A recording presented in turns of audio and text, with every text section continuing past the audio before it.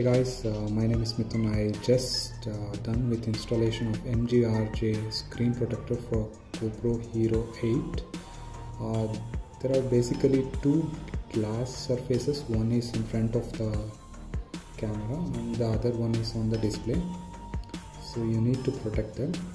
I'm not sure what kind of material is uh, this black and white display has we do get a screen protector for this one as well. It was so tiny that I felt like it is a plastic film but I am not sure if it is plastic or glass. Nonetheless uh, it got installed nicely on this one. And uh, even on the camera lens uh, it has been installed successfully without any bubbles even the rear uh, display as well.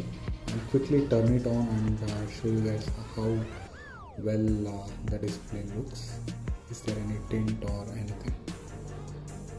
Uh, I don't feel uh, much difference in the screen.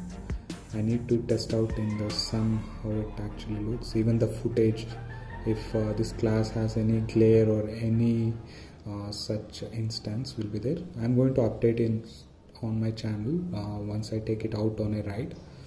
Yeah uh, for now that's it. I'm going to add the photos how I'll install it. I'm not recorded it because it's going to be a tedious process and it's going to take a lot of time.